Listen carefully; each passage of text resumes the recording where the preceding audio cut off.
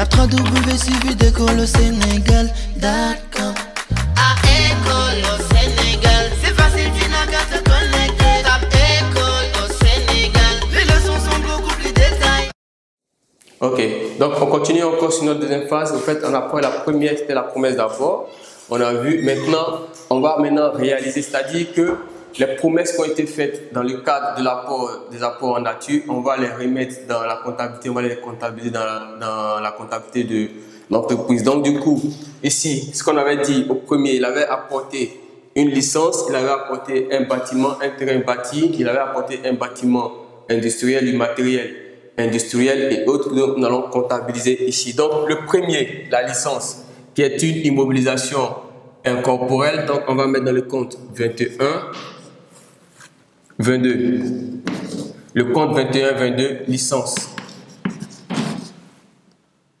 Ensuite, le compte bâtiment. On va parler de bâtiment. Donc ici, il faudra que lorsque vous passez, lorsque vous faites votre comptabilisation, il faudra que vous les comptabilisez en fonction des grandeurs. Donc du coup, vous n'allez pas avoir des comptes 23 en premier et des comptes euh, 21 en second lieu. Non, il faut les classer par rapport à leur ordre.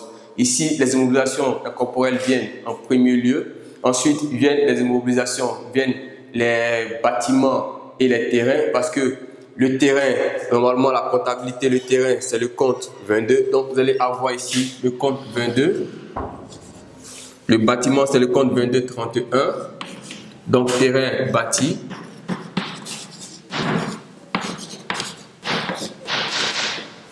Le terrain bâti.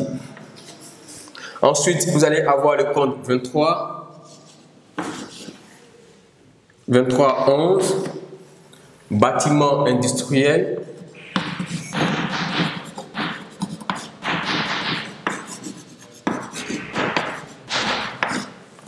Ensuite, vous allez avoir le compte 24, 11, matériel industriel,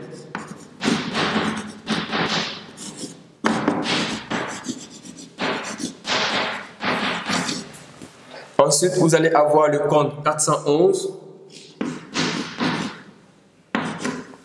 créance client,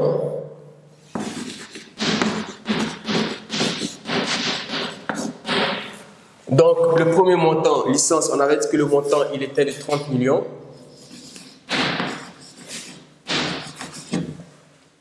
Ensuite, bâtiment, 20 millions. Ensuite, bâtiment industriel. 150 millions. Matériel industriel, 50 millions. Et créance client, 40 millions.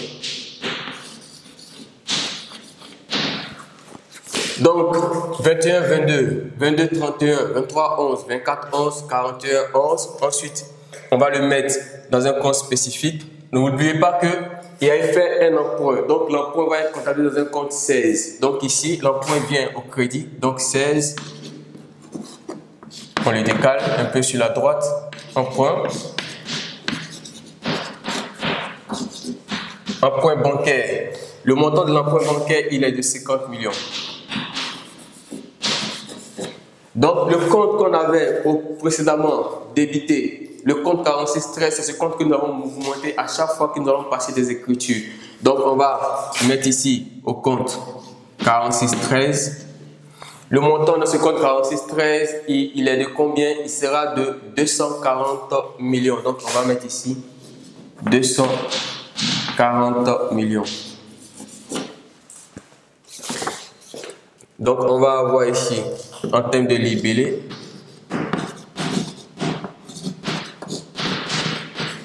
la réalisation des apports en nature.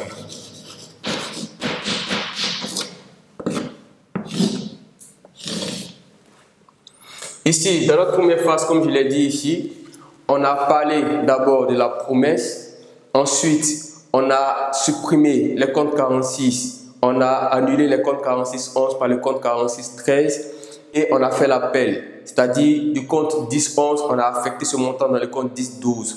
Ensuite, on a procédé à la réalisation des apports, les apports en nature et en numéraire. On a fait d'abord les apports en nature, on va maintenant passer les écritures des apports en numéraire.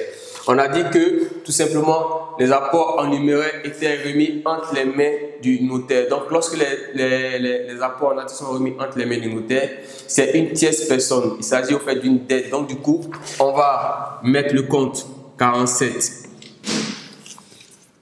32. Le compte 47 32, c'est le mandataire. Donc, quel est le mandataire? Le mandataire, c'est le notaire. Le mandant, c'est tout simplement l'entreprise. On a dit que le montant de l'apport en numéraire, il était de 60 millions. L'apport en nature, il est de 240 millions. L'apport en numéraire, 60 millions. Ensuite, on va mettre ici le 4732, mandataire, 30 millions. Donc, d'ici, L'apport en numéraire, on va mettre le compte 46 comme tout le tout.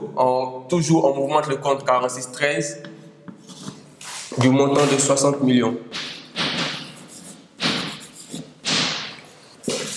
Donc ici, le, le montant qu'on met, c'est la réalisation des apports en numéraire.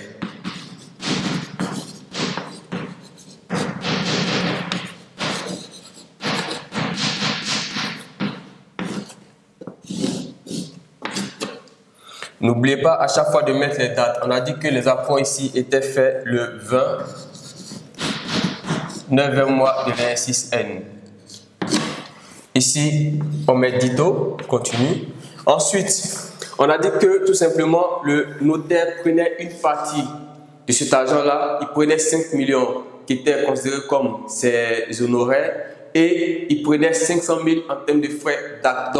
Ce montant-là, les 5 millions plus les 500 000 vont venir diminuer le montant de la valeur en numérique qu'il doit déposer au niveau de la banque. Donc, lorsqu'il va déposer ce montant au niveau de la banque, il faudrait qu'on matérialise au fait la diminution de nos 60 millions ici. Donc, ici, on va mettre ici le 521, puisqu'il dépose sur le compte de l'entreprise. Donc, on va mettre ici tout simplement le compte 10, 11. 10, 11, non, on va d'abord matérialiser l'élément, donc 521. Ensuite, on a dit qu'il supporte des frais d'honoraires, donc les frais d'honoraires sont matérialisés dans le compte 63, les honoraires 63, 24. Ensuite, les frais d'acte 63, 25. En contrepartie du compte que nous avait débité ici, qui est le compte 4732, donc on va le créditer pour le solder. 47,32. Donc le montant de 500 millions, on va avoir ici le 63,23, 5 millions. Ensuite, 500 000. Donc, si 60 millions moins 5 millions, ça va faire 55 millions. 55 millions moins 500 000, ça va faire ici exactement 54 millions 500 000. Donc, pour un montant global de 60 millions ici, chez le notaire. Donc, on remarque que les associés ont apporté 60 millions. Dans ces 60 millions qui devaient être déposés à la banque, le notaire a prélevé 5 millions en termes d'honoraires, de ces honoraires ici. Il a prélevé 500 000 en fin de frais d'acte qui devaient fait normalement en termes de frais d'enregistrement, donc les frais d'acte. Et là, le montant qu'il a déposé en banque est maintenant de 54 millions 500 000. Ensuite, on va passer notre dernière écriture ici.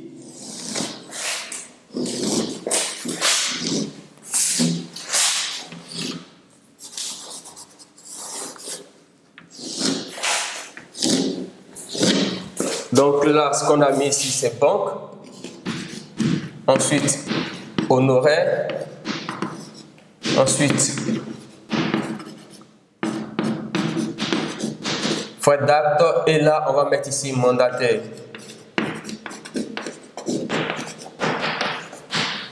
Lorsque tous ces comptes ont été comptabilisés, on va maintenant l'affecter, c'est-à-dire que il s'agit maintenant du capital social souscrit, versé mais non amorti, c'est-à-dire non encore remboursé. Donc ce compte-là va au fait dans le compte social de l'entreprise. Donc du coup, le compte qu'on avait débité, on avait crédité ici, le compte 10-12 va être soldé par le compte 10-13. Donc, si vous remarquez bien, vous voyez qu'on avait d'abord utilisé le compte 10-11, ensuite le compte 10-12. Maintenant, on va utiliser le compte 10-13. Donc, on va débiter ici le compte 10-12 pour le solder par la contrepartie du compte 10-13. Le compte 10-12, c'est capital social, souscrit, appelé, non versé. Maintenant que les éléments ont été versés au niveau de la comptabilité, au niveau de la banque et au niveau de l'entreprise, il faudra qu'on matérialise cette écriture-là. Donc, du coup, ça va être ici capital social, souscrit, appelé, versé, maintenant amorti, du même montant de 300 millions.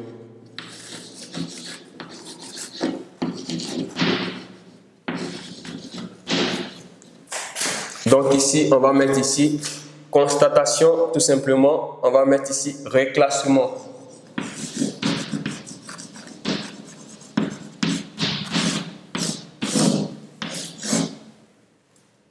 Voilà.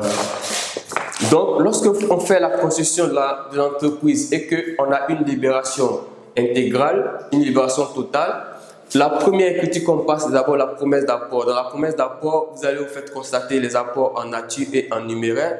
Donc, l'apport en nature, ça sera dans le compte 4611, l'apport de l'associé, et le compte 4612, l'apport, l'apporteur, au fait, l'associé en numéraire. Donc, du coup, vous allez verser ce compte-là en contrepartie du compte 1011, capital souscrit non encore appelé. Capital souscrit non encore appelé.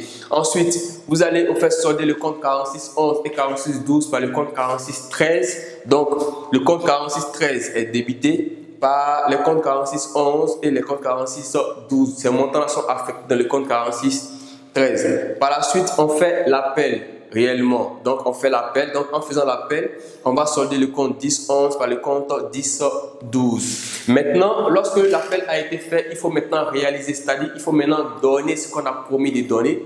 Donc, du coup, ici, on va comptabiliser tout ce qui est apport en nature dans la comptabilité de l'entreprise. C'est ce que nous avons fait en contrepartie de compte 46-13.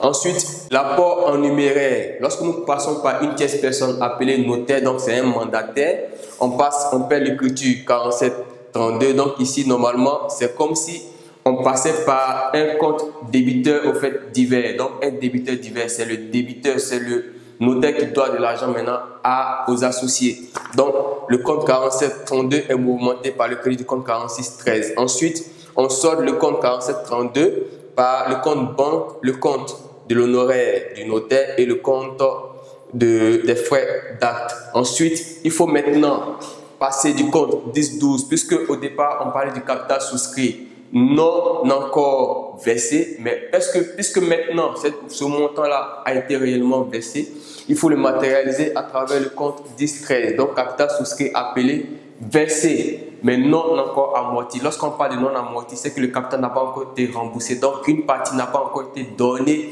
en remboursement aux associés qui ont apporté de l'argent. Donc ainsi, nous allons nous arrêter là aujourd'hui. Et on va continuer la semaine prochaine avec les deux éléments des fonds propres. Merci de m'avoir suivi.